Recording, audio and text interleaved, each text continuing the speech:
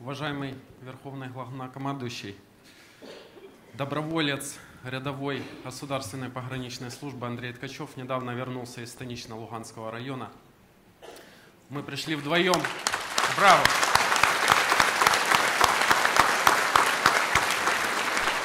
Мы пришли вдвоем с товарищем, защитник Донецкого аэропорта недавно вернулся. И хотели бы задать... Задать вам один вопрос у нас на двоих. Товариш з якої частини, Да, якщо Сейчас можна? он представится. У нас один вопрос на двоих. Дякую. Желаю здоровья, товарищи Верховный Главнокомандующий. Вітаю воїнів. 93-я отдельная Харьковская механизированная бригада, э, доброволец рядовой Сергеев, вернулся недавно с аэропорта города Донецка. Э,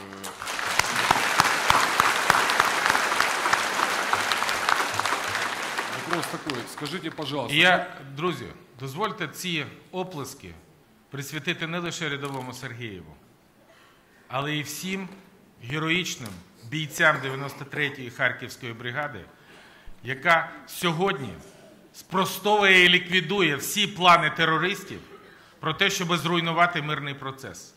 От мир ми тримаємо тому, що 93-я бригада Харківська, ротна тактична група 79-ї бригади Миколаївської, підрозділи 3-го окремого полку спецназа Кіровоградського, добровольців сьогодні тримають оборону України в Донецькому аеропорті.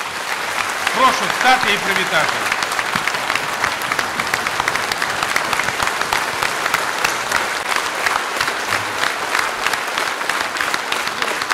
Дуже дякую. Бо, хлопці, без вас цього миру не було. І я, як Верховний головнокомандуючий, це знаю дуже чітко.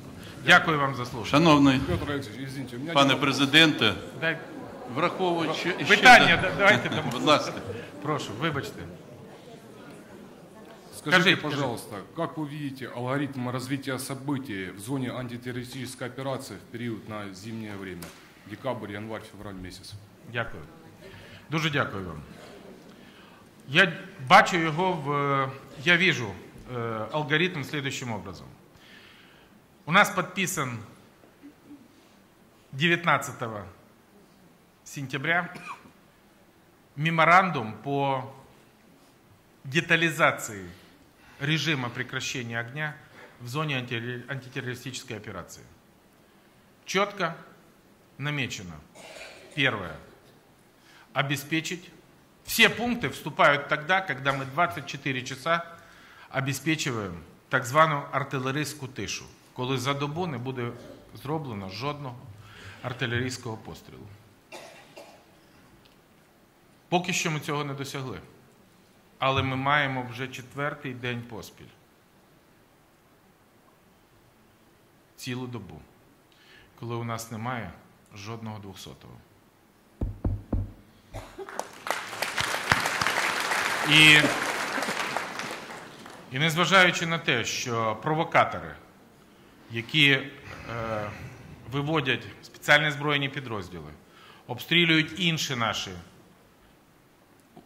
опорні пункти і блокпости в Щасті, на Бахмутці, в Дебальцево, в Гранітному, Малий Кринки і роблять штурми Донецького аеропорту, ми сьогодні бачимо певний процес деескалації.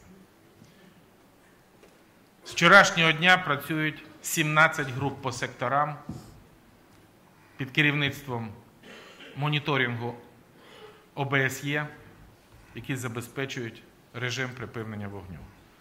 На початку їх було 58. Сьогодні я поставив завдання щоб спеціальна моніторингова місія ОБСЄ збільшила свою чисельність до 1500 інспекторів.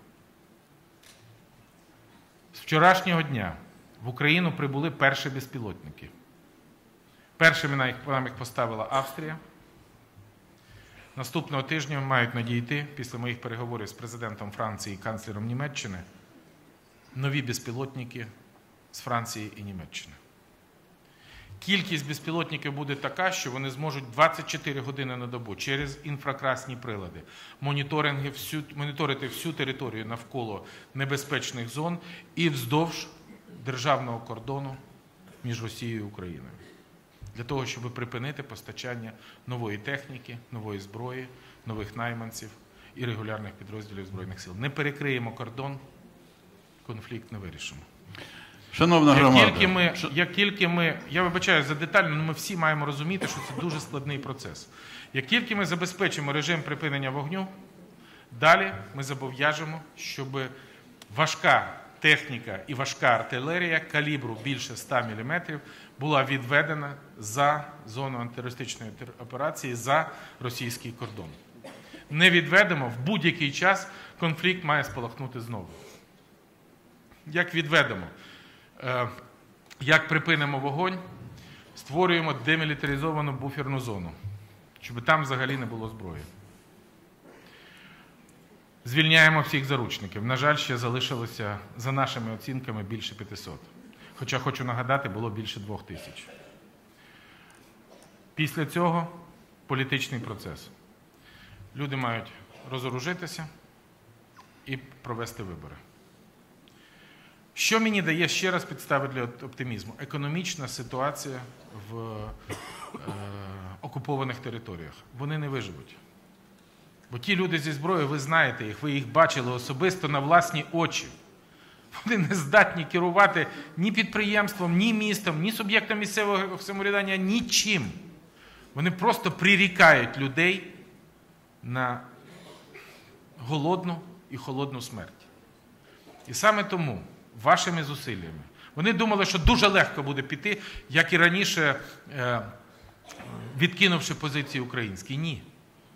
Бо туди підійшли 93-я бригада, бо туди підійшли наші десантники, наші спецназовці, наші добровольці. І вони воюють вже так, що аеропорту вже нема. Нового терміналу вже нема.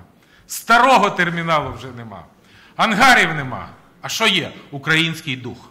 Дух перемоги. Дякую вам.